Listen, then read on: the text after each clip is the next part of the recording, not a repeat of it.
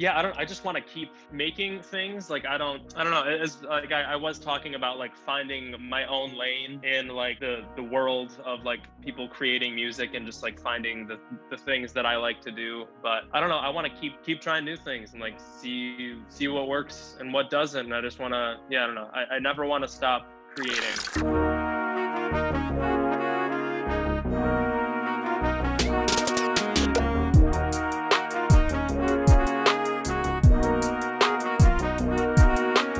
Welcome back to the Living Banter podcast.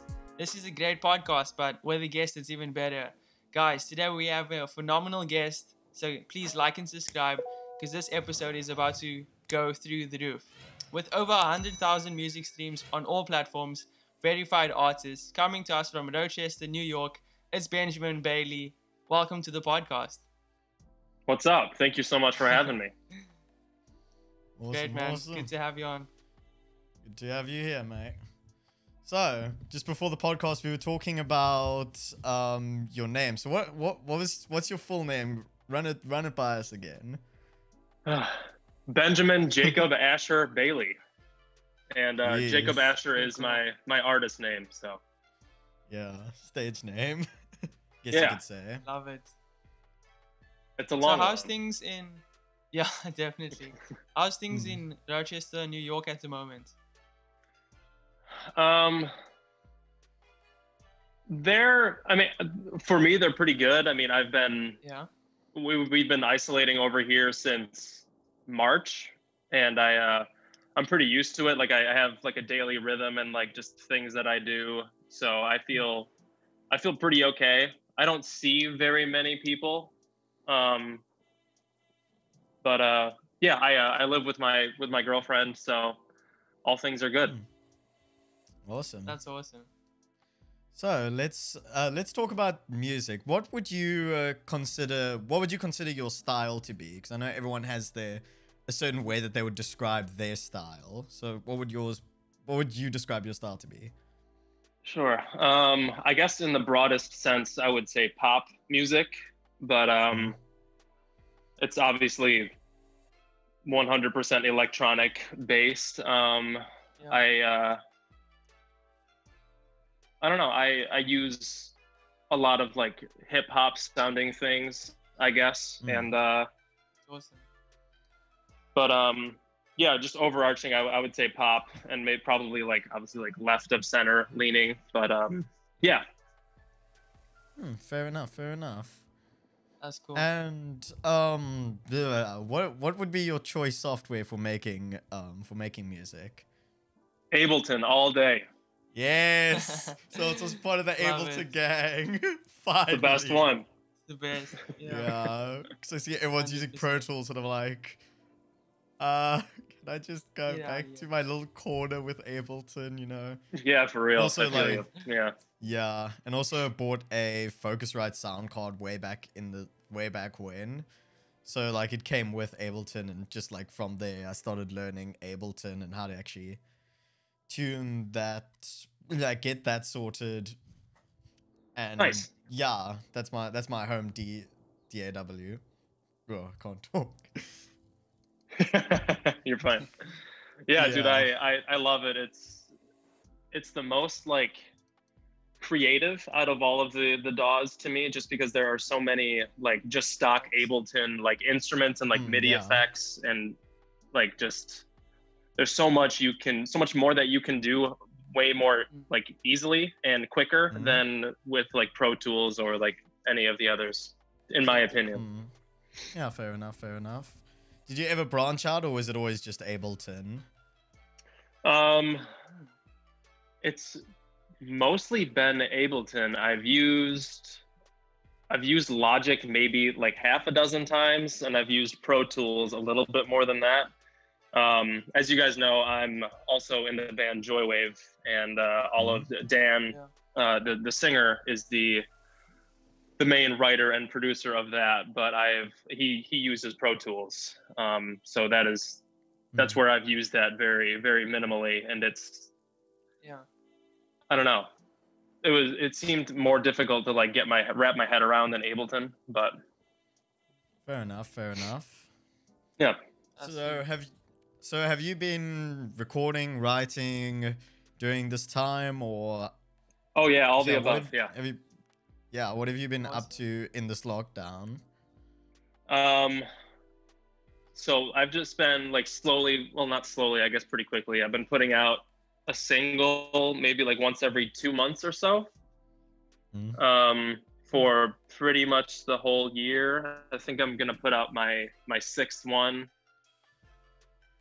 in like probably toward the end of this month. Um, but I've been like writing in the meantime and just like making beats and stuff. So I think after I put out this next one, I'm gonna hunker down and like not put anything out and hopefully get like some sort of longer form release to uh put out like all together like just like i don't know what i'm gonna call it yet i've been toying with the name Mhm. mixtape just so it's not as formal you know Yeah. Yeah, but um I get that.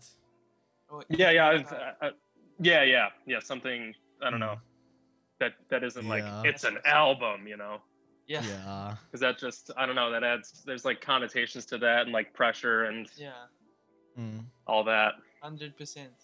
yeah, fair Yeah. enough, fair enough. I understand that because I recently like started getting into like properly recording an album now. So like for example, so with my album that I'm saying that I'm yeah, my album that I'm recording, I guess you could say, is all the guitar work was pretty much like down in the per in the first like three four months of lockdown. and then after that, I'm like, I need to practice these vocals over and over and over. and then I'm I managed to actually get some studio time from a friend of mine who who is at a sound engineering college. So it like I understand people like wanting to put out like singles and EPs and stuff like that. But for me it's just like I have like what is it nine or something songs that I think are really cool so I'm just to stack them into an album. And literally I came up with the album name like it felt almost like by mistake. So yeah, I don't know. I, if I could say anything, it's like you know, when an album name or EP name hits you, it hits you. That's that's just is what it is. Oh, for sure. Yeah, yeah. Yeah, I mean, it, I don't know. It depends on like what you feel you're ready to put out. Because I mean, Mm. I it was it was probably like very early 2019. I like wrote and fully produced like 25 songs, and I wanted to put out an Mhm. album at that point. And I was Yeah. like, yeah, I'm so stoked. I made so many songs, and they're all cool. And then after just living with them for a little while and trying to figure out like what I really wanted to be and how I wanted other people to perceive me, I I narrowed it down and then I was like, I'm not gonna put out like an album or anything. I'll just put out singles and like test the water, see how people like what because I was still trying to figure Mhm. out what I wanted to be, you know, and like what what Yeah, my lane was. Mm. But that's dope that you like have an album in the works. Like, dude, t- take Yeah. your time doing that and Yeah. enjoy the process. Like, there's no rush. Like, just enjoy it. Not gonna lie though, that the album it was so weird because when I initially wrote the songs, I was like, "Oh, these songs are pretty cool, whatever." I don't know, the, the like lyrics kind of fit iffily here and there, and I started practicing it, and the more I practiced it, the more the the songs actually started to make sense and like things started to line up a bit more, I guess you could say. Comes So yeah, definitely like sit with the songs for a bit. And once I got all that done, I was like, you know what? I'm pretty much ready. I just have to, you know, because I've recorded everything. I just have to like get it, get it Release kind of sorted. Yeah, I'm not even releasing. Yeah, it. yeah. Like, get it mixed. Yeah. Mhm. Did you ever get into yeah? Did you ever get into like the realm of mixing, or were you more like recording based? Um, do you mean mixing myself? Yeah, mixing, mixing your yeah, mixing yourself. So that is. I actually kind of made a uh, a mistake when I made like my first big batch of songs that I was telling you guys about. I I didn't spend that much time mixing it myself to make it sound the way I wanted to, and I was Mhm. relying too much on a mixer to do that for me, which Mhm. is the opposite of what you should do. You should like get it to a place where you're like yes, I love this, but I want to take it like one step further, and that's where a mixer can come in hand. You don't want to be Yeah. like, oh yeah, this is ten steps from where I want it to be. So, uh, but no, like Mhm. getting better at mixing is something I'm I'm actually like taking the time to do that now. Like I Ah, watch a million YouTube tutorials every day and just like mhm. practice with like the Yeah. the dumb ideas that I make every day and like try to mix those and like get get good levels and Mhm. stuff like that. Especially with beats too. Like if you're sending like a beat pack to an artist, like you want them all Yeah. to to hit a certain way and like if if the Mhm. artist doesn't feel that off the bat, they're not gonna like any of your shit. So it Mhm. needs to be enough, loud and enough. bumping. So you got to be able to mix like to a certain extent to yourself uh, for yourself. Yeah, I fair believe. enough, fair enough. Yeah, because um, yeah, can learn through YouTube nowadays. Like I call it the University of YouTube because everything I. that you want to learn is literally on there. Yeah, It's- man. It's, Yeah, mental. yeah. It's the It's best. I actually love it. Yeah, it's the best. Yeah. So one of the things like I found with mixing with someone else is that like I basically trust this person with my life. It feels like because it's because him and I like went to high school together and were friends all throughout high school. And like I wasn't ready at that time to put anything out. And by the time like I got out of high school, I'm like, okay, cool. Now at some point this year I can actually like get some songs down and you know put on an album or whatever. And like when I'm like in studio and he's mixing some of my stuff, I actually like the way he does certain things. You know, and even though both him and I are different in regards of mixing, it's it's cool to have someone who actually like is studying it, if that makes sense. Like looking for their degree to get certified in Pro Tools. So yeah, that's Absolutely. Yeah. and like yeah, like you said, trusting someone with your life, like it's I don't know, it's like dipping your toe in the exposure, like sharing something you've been working on with just a mixer alone is very daunting. But Mhm. then again, like with the world, like putting it on streaming services like Spotify and stuff, like it's it's scary. But after putting Mhm. out like as much music as I have this year, like I I'm I'm over it, which is a good feeling. So I can just like Yeah, for sure. I don't know, Mhm. put stuff out and not be afraid, which is a good feeling. Mhm. I love that. Especially in a world where it's like instant gratification. So when people release or artists release music, audience is just like, we want more, we want more songs. They release another one, they release another one.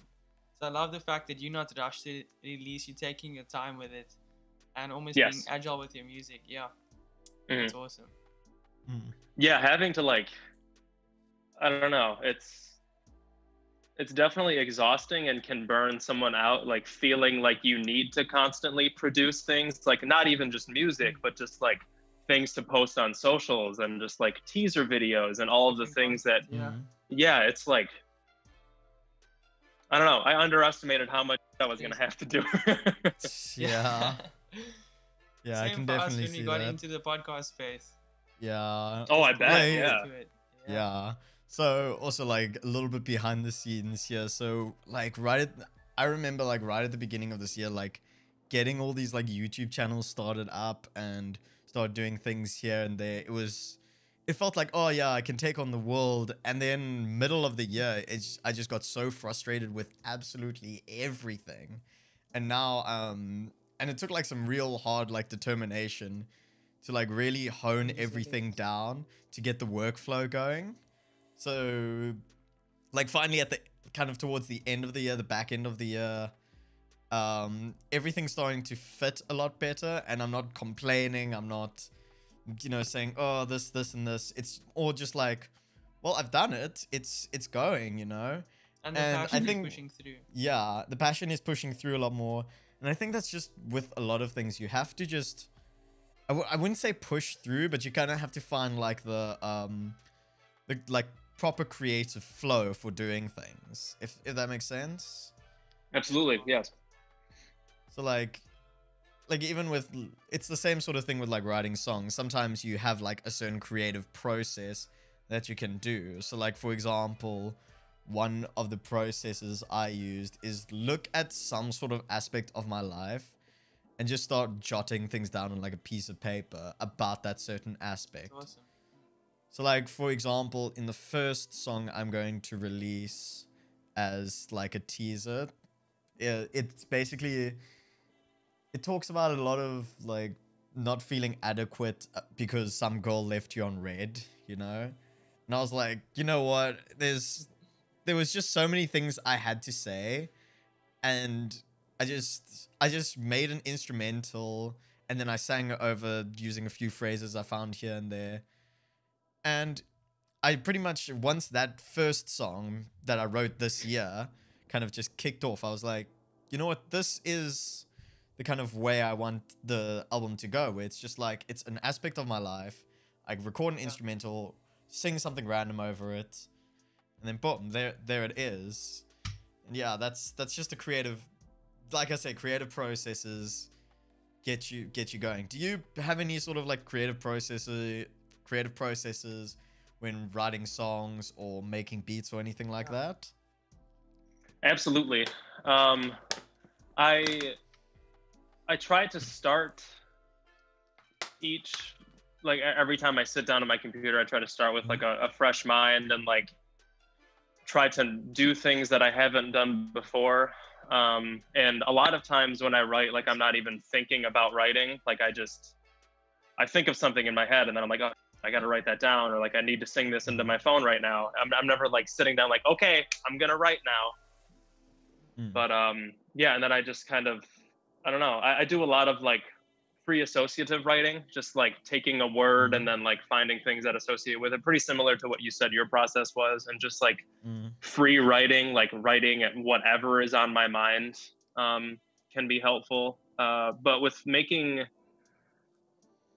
with making beats or like an instrumental or something i don't know i i have a lot of like analog synthesizers that i've been collecting like older Mhm. ones for the the Yeah. last couple of years and um i i just like i sit down in front of one of those and just like around until i make a cool noise or like play like some chord changes that i really like and Yeah. it's usually it's usually about i guess finding like the the bud of the idea and Mhm. then starting there like just singing a phrase into my phone writing down a Mhm. couple words and then like fleshing it out from there and like letting the bud blossom into whatever kind of song that's going to be Hmm.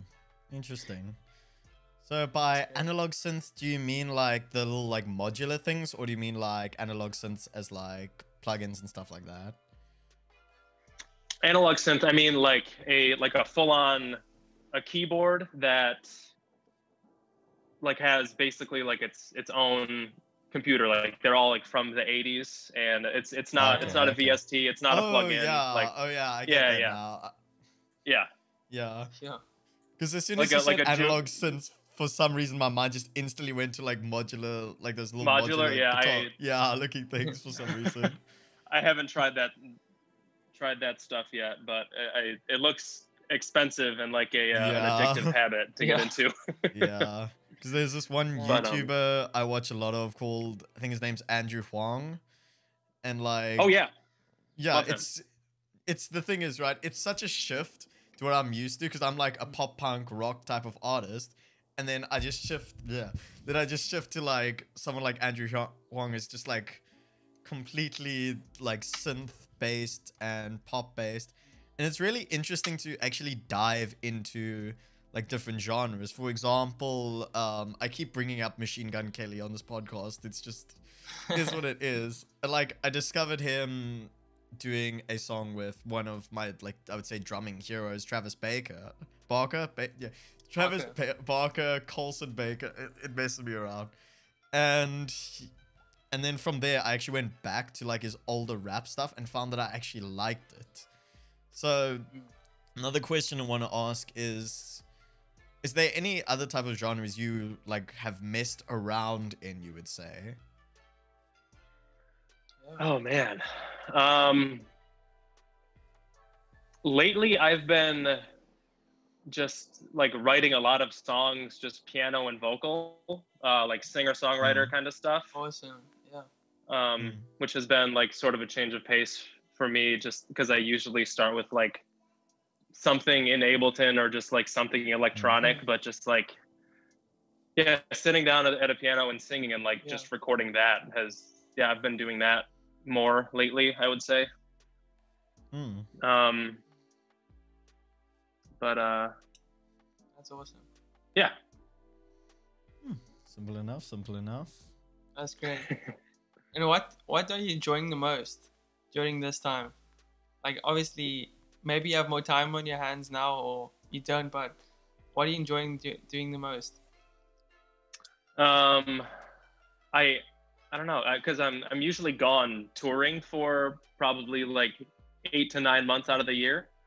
Oh wow. Okay. So I, I've ne- I haven't been this I haven't been home for this long in about seven years, which is pretty wild. Jeez. Wow. But um, I don't know. I've learned to really love it. Um, there are some days where like I I struggle to like find a balance of like I don't know just doing things, but Yeah. I don't know. I mean, I I, I try to like. I, I really enjoy cooking, so I, I like I cook every Mm. day. I exercise every day. I usually like go for a hike or something. Um, make music. I read a bunch. Like I, I don't know. I try to just do all of those things every day, just to like I don't know, Sweet. keep my brain moving. You know, st- stay stimulated. Yeah. Also go Fair crazy enough. Fair enough. if I just like sit and do nothing during the day. Mm. Yeah, you got to stay But busy. how's man. yeah for sure? How was life on tour? How did the average day on tour look like for you at the time? Um, touring is it's really really fun, but also really exhausting and can wear on you after a while. Obviously, I mean, I uh, I I did my my fair share of partying and like just getting getting drunk and for the the first probably four or five years of that. The last couple of years of touring, I've I've certainly calmed down, but yeah, it's just you can't you can't sustain that lifestyle forever. And No. uh, yeah, it's like it's yeah. it's also pretty bad just for mental health reasons, like not having the stability of being in one place. So, so but um, I don't know. I've like I've had some of the best times of my life on tour. Like I'll I'll never I'll never forget any of them. Mm. That's incredible. Dang. Yeah. Did And you ever speaking get about? stage fright or have anxiety when performing, or how did you deal with that? I used to. It's it's something that you kind of just have to. Yeah, I don't know. It gets it gets easier the more you do it, just like anything. Um, I uh, I went to college for piano performance, so I I have I've been like pretty much performing for my whole life, but um, getting to like play with a band was a very different experience. And I remember my first couple shows, I was certainly very very nervous, and like our first couple like live television performances, I was very nervous, but Yeah. I don't know. I I think I, I settled into like my persona in the band, hmm. I guess, just how I like the things that I do on stage live. Like it's it's very much like I don't know. It's I, I'd like to think it's pretty unassuming. Like if like if you guys were to like go watch a video of like Joywave performing right now, like it would be vastly different than probably how you're perceiving Yeah. me right now. So it's just like me exercising a different part of me, which is really great. Mm, fair enough, fair enough. Yeah. I also find that, but the thing is, um, you know, with COVID and everything, I haven't really been able to do like many live shows. I think I've had like one, literally one. Actually, sorry, there's Mhm. two this year. There were two that I that I did this year that had my original songs being played at them, and the first one was like just before lockdown, so like Feb sometime around there. And then it was like maybe two weeks ago, and there was like max twenty people there. It was just, yeah, it was it was crazy. So with that being said, like, what what are your like thoughts on how like the music industry is basically just like shut down? The event industry is kind of just like handbrake up. Well, Yeah. what are you? Yeah, how are you feeling about that? Should I say? Um, I have I have mixed feelings about that. Um, for me personally, and for my my mental health, uh, being home has been really really great for me. But obviously, I have a lot of friends in this Mhm. industry, like not only musicians, but just people that like Yeah. work for bands and just like crew members and stuff Mhm. like that. Like they they can't work. Um, Sure. which is which is hard um, to especially yeah I don't just there's so many other industries that are also out of work like it's it's hard to Mhm. pick up another job during this time too when you've lost your main source of income um, Mm. but I don't know there, there's a lot of bands that are trying to make it work doing like really intricate like light shows for live streams and stuff like that but I I don't know that anyone has found any sort of solution or like a band-aid for the live show experience like I don't I don't think that that is replaceable unfortunately Yeah. Yeah, so so true. I, I I don't know I just feel like everyone's just gonna have to wait till there's a vaccine or the cases drop significantly. I don't know. Like it's I don't I don't think it's gonna be coming back anytime within the next like out. six months. Yeah I think we're just gonna have to wait which Yeah. which sucks. And i don't know. And then from like a, a business aspect like labels that i know of they're not really signing anyone new because like touring and shows is such a big source of income for bands and for Mhm. labels like Mm. and selling merch and just all that is like i don't know Yeah, it's weird it's tough. like Mm. yeah the, the the artists that are big right now are just gonna continue being big and i don't really think there's any new artists that are gonna break but who knows don't quote me on that you never know Yeah. yeah, If I'm So honest things are- though, yeah, if I'm honest things are though, weird I- right now. Yeah, things are So, weird. yeah And yeah, I think probably end of 2021 is only then when we're really gonna see like this is this is just my predictions. End of hopefully 2021 not, but yeah, is only like then when we're really gonna see like a lot more shows. Like maybe there'll be, I mean, sure, in like 2021 there's gonna be a few shows here and there with a lot of bands and things like that. But I think oh, only there's a like right at the end. shows. Yeah, a lot of online shows though. Like end of 2021, I think only is there gonna be any sort of like pickup again in it. This is just my prediction. I could be wrong. It could be sooner. Like the vaccine could, like you know, get discovered tomorrow, and then Christmas then miracle. yeah, Christmas miracle. That'd be awesome. yeah. yeah the i don't know vaccine I, I gets think i would yeah i think i'd have to agree with you i don't yeah late 2021 maybe who knows i don't know Yeah. Yeah. Yeah, that's So you've you've been in the industry for quite some time. What made you want to get into music? Um, I've I've been playing music for just about my whole life. Um, Yeah. I started taking piano lessons when I was about four or five, and then I started like playing in band in high school. I played clarinet, and uh, Sweet. and then I started playing guitar when I was a teenager as well. Um, so yeah, I don't know. I've always I've always just been playing something, and then when I think I was about a week away from graduating, uh, uh, Daniel, Joywave singer, hit me up via Facebook and was like, "Yo, do you want to be in the band?" Because I, I I grew up in the same town as as uh, all those guys, so I've I've known them for a while Mhm. And Yeah. that's just that's pretty much what I've been doing since I graduated from college. So that's that is how I got into it. So and then maybe like Mm. five months after I joined, they Mm. got signed, and that's that's been that's been it ever since. Pretty crazy. Wow, jeez. Yeah. That's awesome. What a story. Mm. And I saw also that you met Steve Aoki and obviously other phenomenons in the industry. But I just wanted to ask, how's that experience for you? so uh, it was okay. I was definitely annoying him. we were it it was my it was my first time playing South by Southwest with uh, Yeah. with the band, and the hotel that we were staying at, Steve Aoki also happened to be staying at. So he was like checking into his room or something, and I was just like, "Oh my God, should I get a picture?" Yeah. And I asked him, and he was like, uh, "Yeah, sure." So I I felt bad, Oh, Lord. but um, At least you got the picture. yeah. he wasn't he wasn't like rude about it. He was just like, "Yeah, sure." Oh, But well. um, yeah, he's obviously like he's like a legend at this point.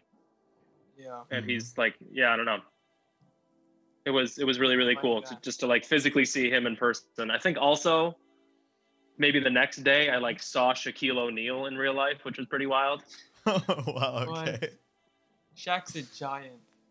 Yeah, he's so Yeah. tall. So I mean, he's obviously like a basketball player, so he's tall. But like, I don't Yeah. think you can grasp how actually tall he is until you see him in real life. chance. Like, Hmm. Is yeah, isn't he also like really wide too? he He's has gotten wider. Yes. Oh. He's a beast. Tall and He's wide. Yes. Legend. Yeah. Dude, I would not want to. I are would not want to be in the same half as him. Just let, Yeah. let alone like Yeah. him blocking me. You're like, sup, dude. You're not getting Real. past me. Yeah, I'd rather I, than very nothing else for a photo, honestly. yeah. Yeah. but then again, it would just like just show. Yeah, it would just show how short I actually am.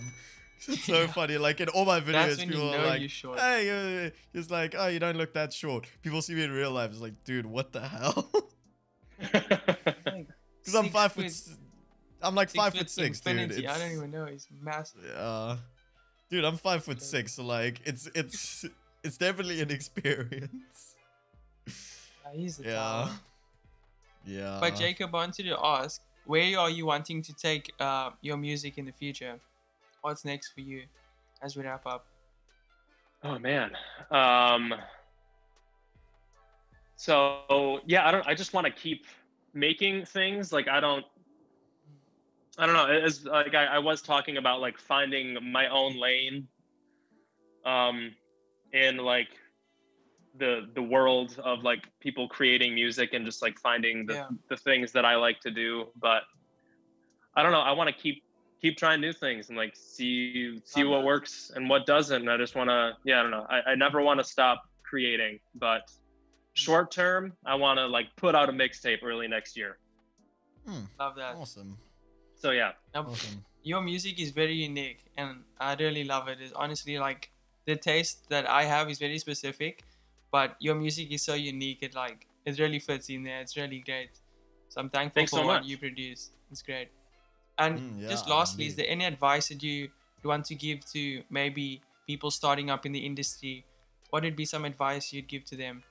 it is very hard and very competitive, Yeah. but the more the more you are just being yourself, Mm. people can people can see that and they can see that honesty and that you are genuine and you're not I don't know being fake and like it's it's all an act. I don't know. People people know when it's real. So that is my best recommendation is just to be yourself. That's awesome, man. And just five, the last thing, five random questions, some speed Fair questions fair to enough. get to know you more almost. Thanks for joining, by the way. So here it goes hoodie Mhm. or jersey? What would you wear? Hoodie or jersey? Hoodie. Perform in Madison Square Garden or the Staples Center? Ooh. Staples Center. I've already played at Madison Square Garden. Damn. Pancakes or waffles? Pancakes. Oh, Pop wow, music or indie? Uh, I'm gonna have to go pop music. Sorry. PlayStation or Xbox? Ooh. Um. Jeez, I think PlayStation. I'm not much of a gamer, but I'll go PlayStation. Sweet. Jacob Asher, it's been incredible having you on the Living Bands podcast. Is there anything you want to plug and let the viewers know? Yeah, I'm gonna put out a song probably at the end of the month, and it is called "Only Awesome. One," and uh, it's fucking sick. It's really good. So keep your eyes Love and that. ears open and peeled. And so yeah, thank you guys so much for having me. This was really fun. Thanks for joining. And uh, Guys, the link. you, Yeah. you go. No Sorry. problem, man. Thanks for coming I was going to say the link to your Spotify, SoundCloud, Instagrams, all in the description. So to our audience out there, go check it out. Send him some love. This guy's music is phenomenal. It's honestly great. So go check it out. Send him some love. Awesome. Thank you guys so much. Stay safe out there and uh, enjoy. Yeah. Thanks, man. Yeah. It's been awesome. Like and subscribe easy, to the guys. channel, guys. Peace. Have a good one. Cheers, man. Cheers.